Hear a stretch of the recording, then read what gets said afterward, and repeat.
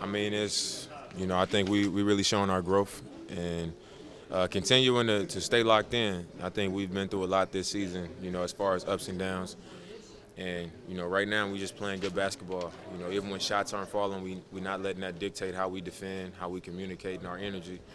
Um, the fans are really into it, um, and I think we're just controlling games with, with, with our consistency right now. What was the key to closing this one out?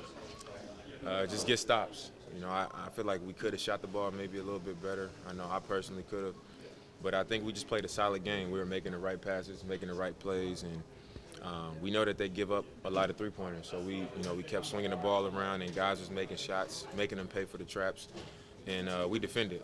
You know, we helped each other out. We were physical. Uh, we had a presence, and you know, we just got to continue to, to have that type of mentality.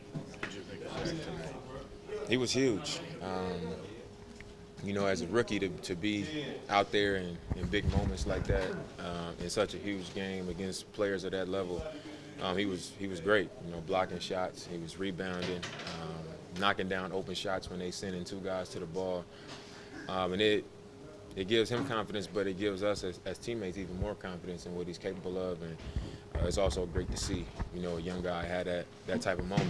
You know, it was real cool to see him have that moment in such a big game. What do you see behind the scenes from him that we don't get to that, that maybe you're not to see him? Um, he's just steady.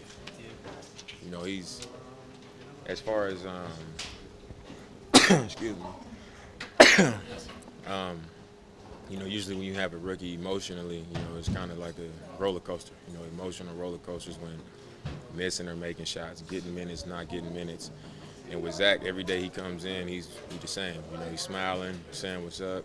Um, he go get his work in with the coaches on the other end. He's just just the same. And I think when you're a rookie and you're able to be steady like that, um, through the good and the bad, eventually you'll, you know, things will work out for you and you'll be fine. You know, it's more of a, a mental battle um, and being able to be consistent dealing with, you know, the, the changes uh, on the road, off the road, practices, film. You know, you can get beat up by it, and I think he's done a great job of just just being steady.